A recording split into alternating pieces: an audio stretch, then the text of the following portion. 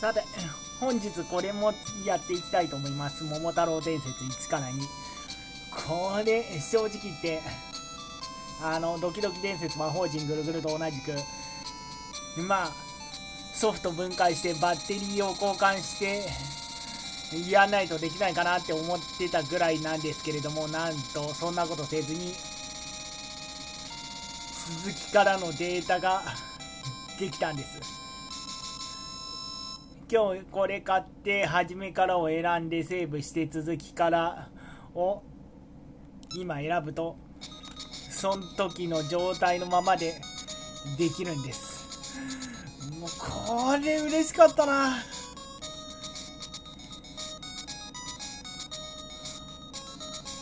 というわけでまあこれも正直いつデータがセーブできなくなるかっていうのも分かりませんのでこれもクリアを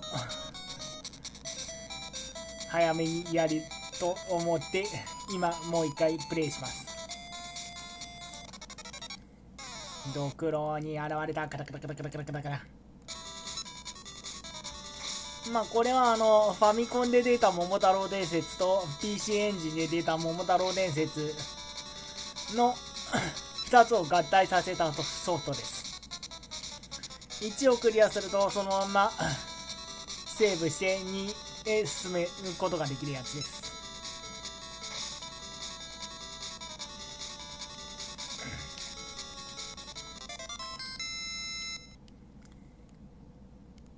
1と6両。微妙にあのインフレが起きてんだよな。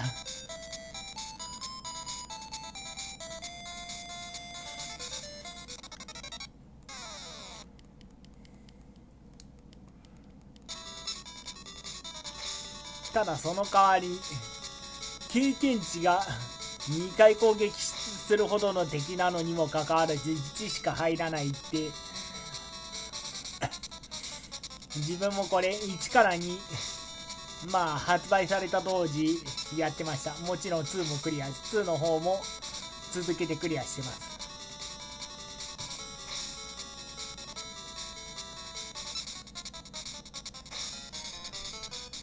まあそれで 売っちゃったんですけれどももうその売った店自体は潰れました。でこのカード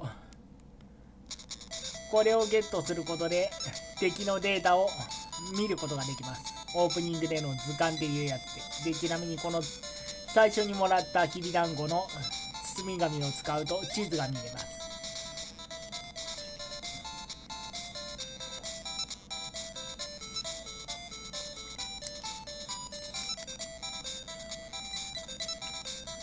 まあ次の街にもともとあのファミコンやスファファミコンや PC エンジンの分に比べてレベルアップが経験値がものすごい少ない設定になっています。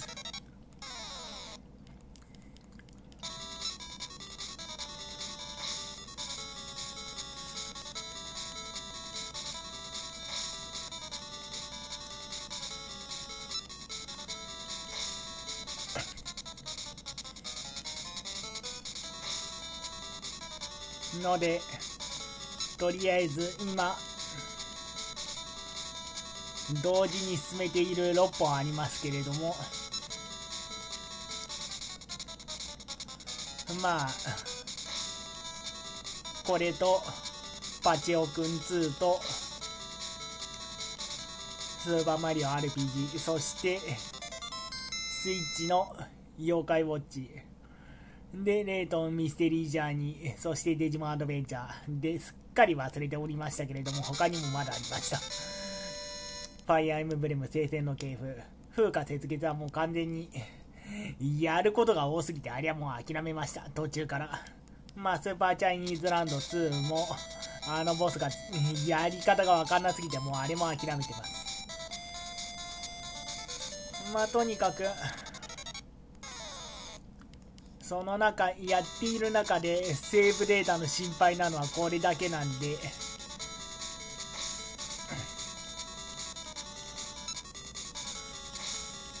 まあこれをちょっと集中してやりたいと思います。まあこれの次の村に進むのはだいたい今の村で売っている防具を武器防具を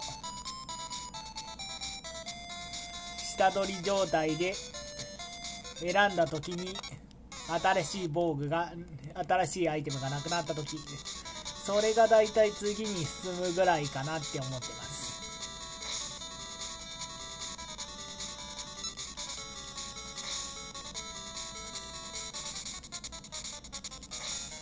でちなみにこの「桃太郎伝説」1から2には「桃太郎伝説」シリーズになかったポイントカードというシステムが存在します。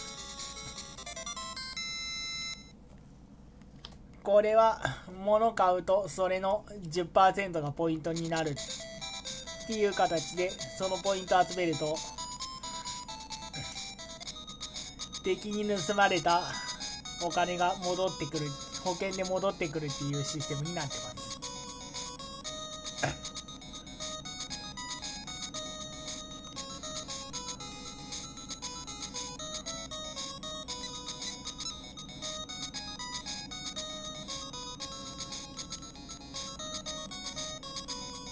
木刀と脇差し。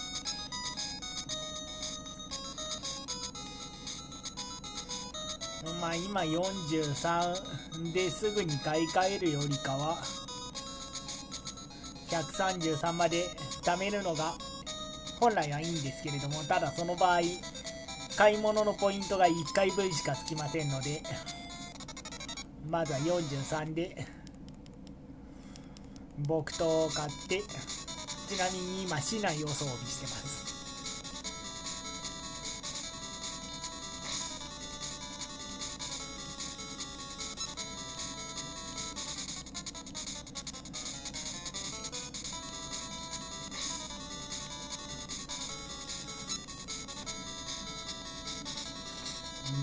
二度避けられたよ。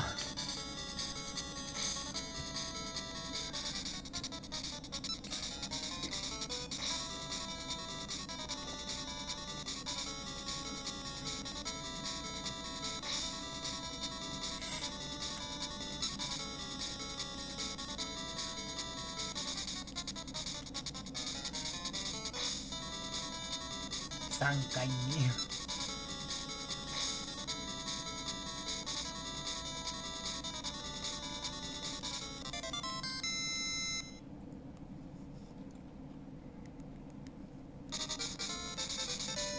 初の方は本当にレベルが上がりやすいし。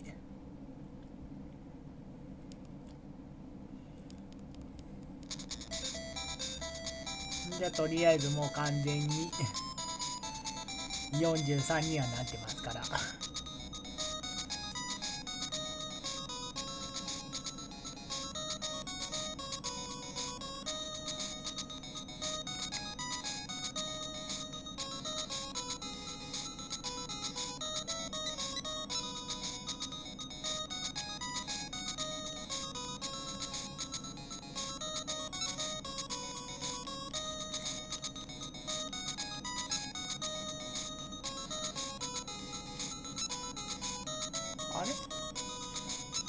あポイントはあの今43だから4ポイントかと思ったけれども今6ポイント入ったよな。システムがよ本当に10%か？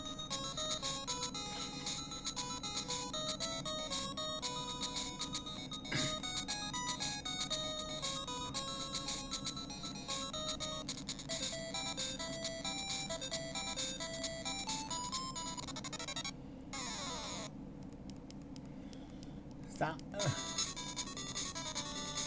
木刀に変えた途端命中率が下がったってんじゃねえだろうな。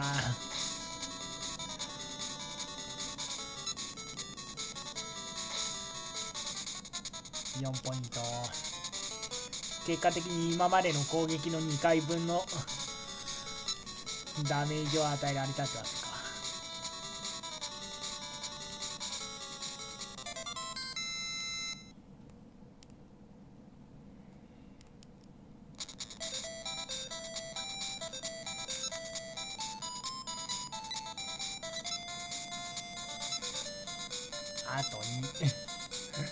本当に早えなここら辺まで。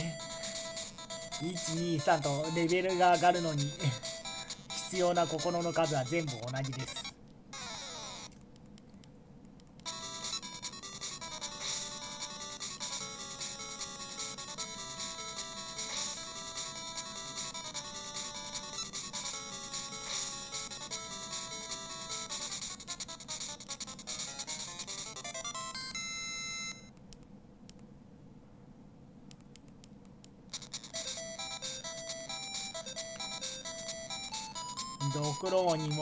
も赤鬼ももらえる経験値は同じなんだけれども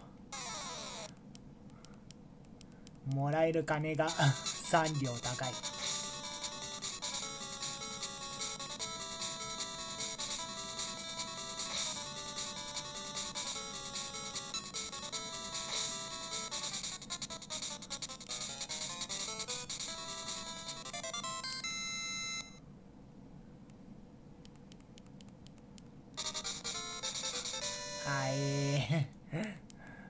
ミコンでもこんなに簡単こんなに早くレベル上がらなかったぞ4段に。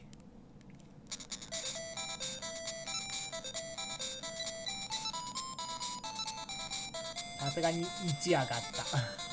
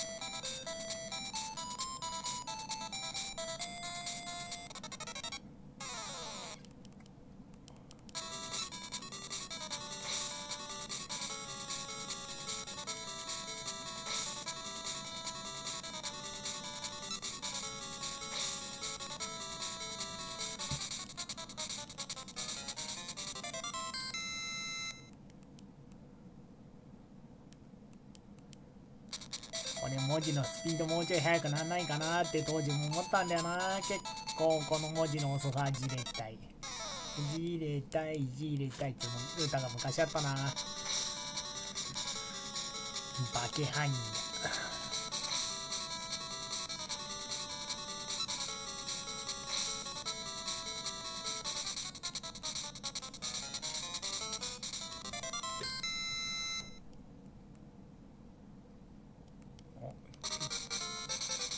5段122だったのが123に上がった。次はあと7しかし経験値13ですでに5段って今までの桃太郎伝説の中でもなそうそうないぞ。ただこれプレイしたのが19年ぐらい前だからな。20年も自分が高校時代の分だったから。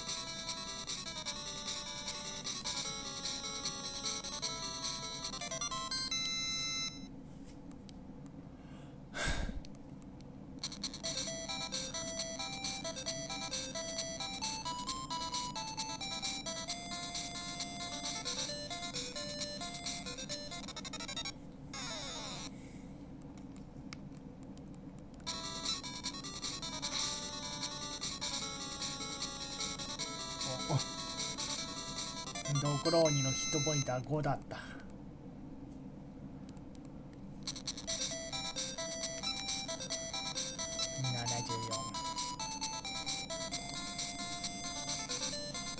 7443の時に133だったから。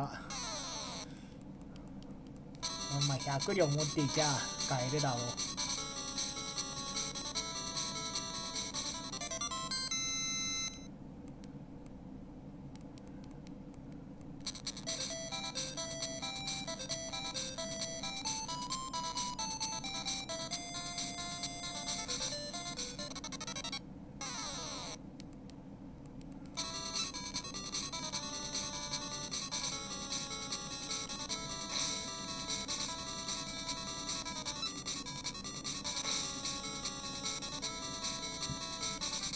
さっきやなあこいつじゃね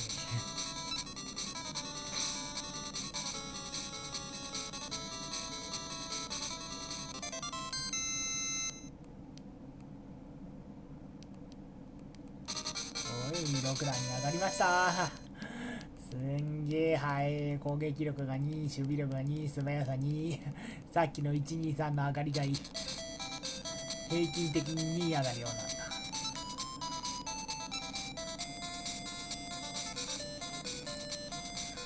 もう一回ぐらいドクローにでも赤鬼じ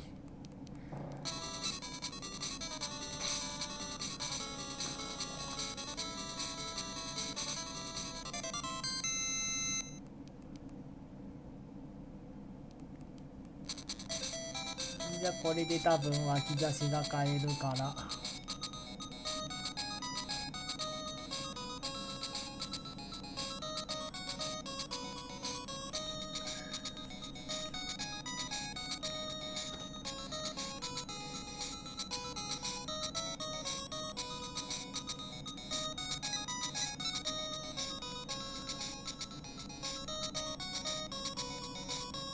うわあと4正直あのきびだんご。使うほどヒットポイントが減らないからな。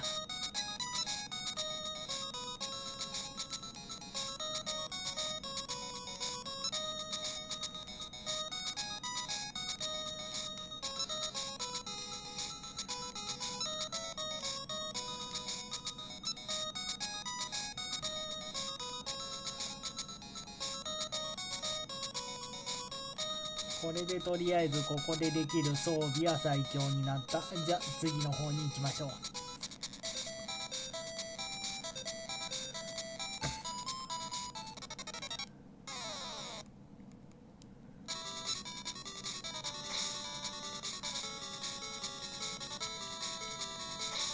こっちは6だった。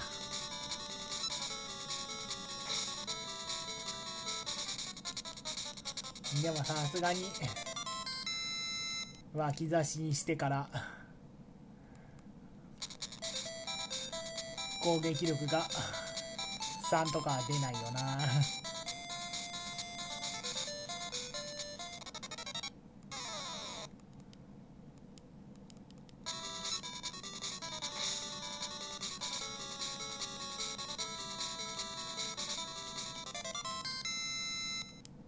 しかしこうやって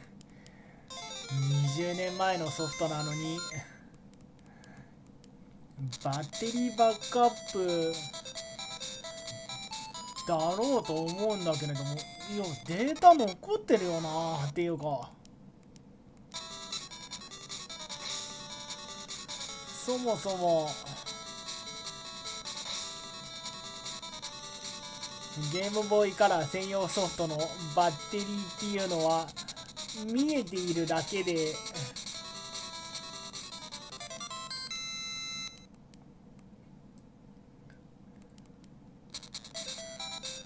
セーブに関与してないってこと？って思うぐらい正直もうあれ。プレイできないと思ってましたからね。もうバッテリーがダメで。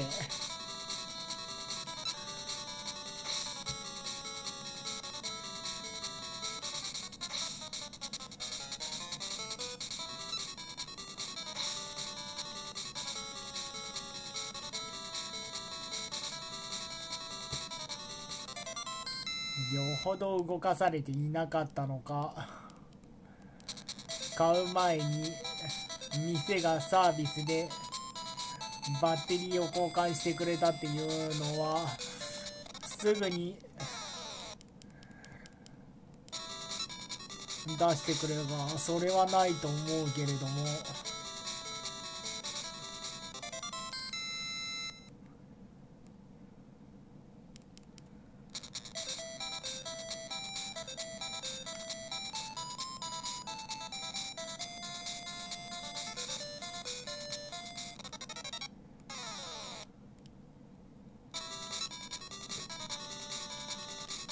そもそも本当に？いや。会心の一撃を食らってこっちへのダメージは2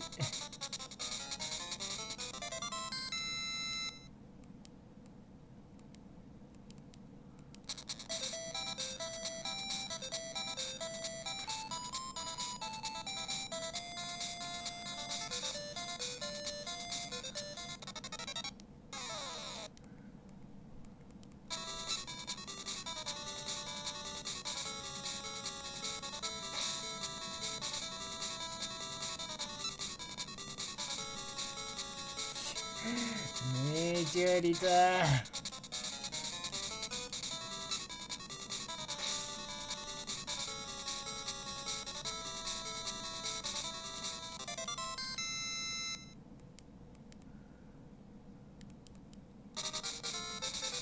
なだに上がった？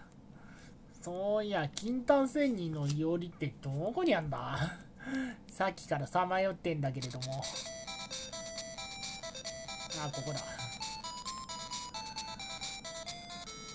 さすがに 7段にも上がってりゃ十分勝てるだろう。そうかよい心がけに修行の前に回復してやろう。私修行に耐えられるかな。いつやかかってくるのじゃ。いきなり襲ってきた。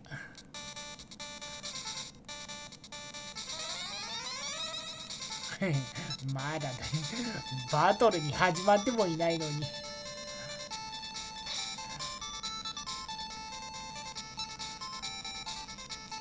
で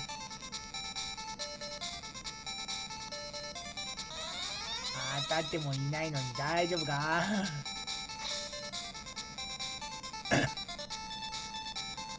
いいぞ桃太郎。なかなか筋がいいぞ。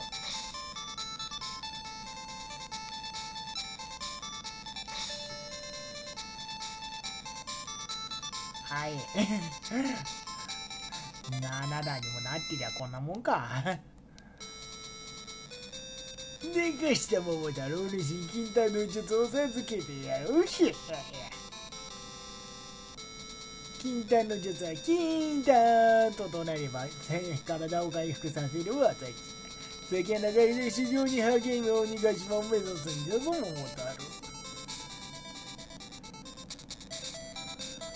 じゃとりあえず。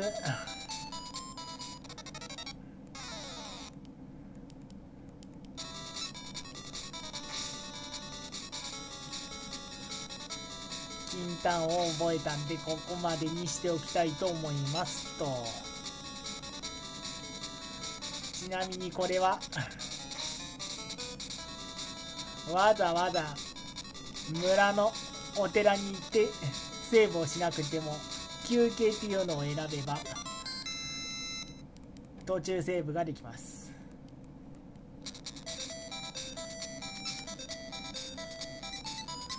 でこれで桃太郎さん勉強の時間ですか？もう勉強学校通ってないんだけどな。それでは休憩しましょう。また後で桃太郎さんこのまま電源を切ってください。ゲームボーイにリセットボタンはありませんからね。では、失礼します。